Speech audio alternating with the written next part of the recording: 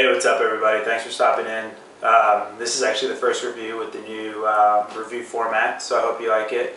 The app we're going to be reviewing is HeyTell. Um, it basically turns your uh, iPhone into a walkie-talkie. Um, it's a lot like the Nextel, those old school phones with the Direct Connect. It's basically functionality adds to your iPhone, so it's really cool. Um, it's a nice way to communicate, and it's really, really easy to use. So let's get into that. Alright, so first thing you're going to want to do obviously is open up the app. The app comes into your uh, most recent conversations. Um, as you can see, there's little arrows for outgoing messages that have still been unread. There's You can also favorite messages, that's why you see that little star there. The way you do that, you can just go into all your saved messages of that conversation and then just pick a message and favorite it. So you can do that. You can do deletes swipe delete or you can actually just hit the actual delete button. That'll delete the message. Um, you can export and send messages. All you have to do is hit the back down there, send for email or post it on Facebook if it's funny.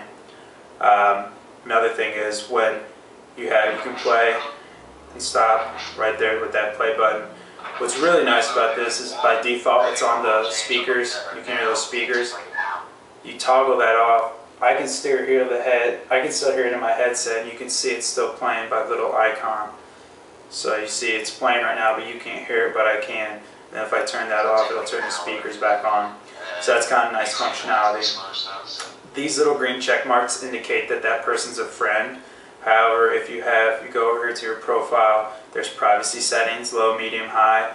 If you have low, anybody can contact you.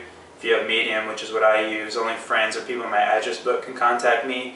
And then High is only people that you've initiated conversation with or that are already your friends on HeyTell can contact you.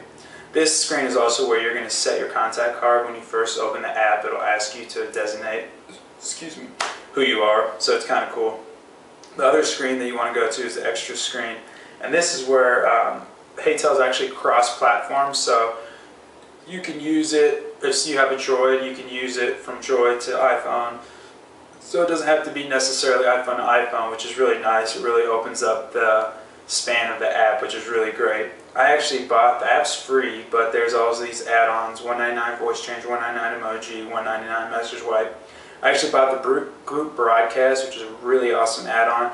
These are all my groups, and you can text, or you can send out a HeyTell message to up to 25 of your friends which is really nice, especially if you're like, hey, what's up, let's go get something to eat, where do you guys want to go?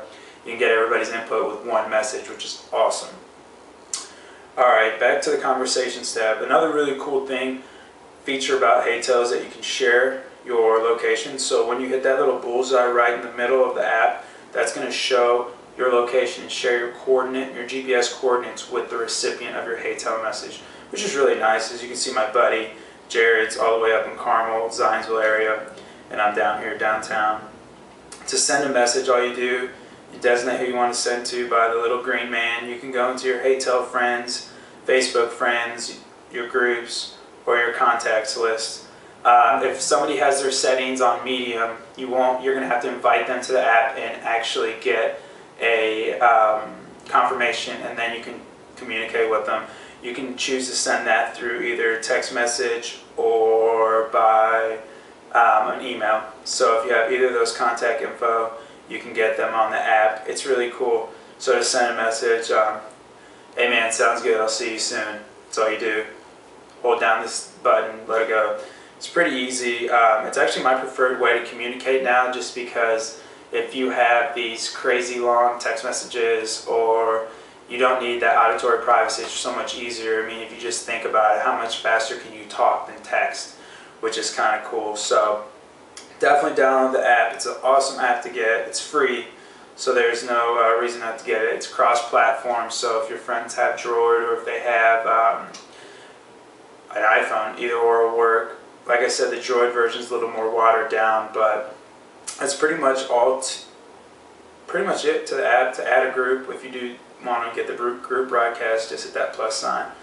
So I hope you like the new review style definitely download HeyTell. If you want to HeyTell me, just hit me up. Um, 1976 Hoosiers, H O O S I E R S, at way2hype.com and um, shoot me your contact info.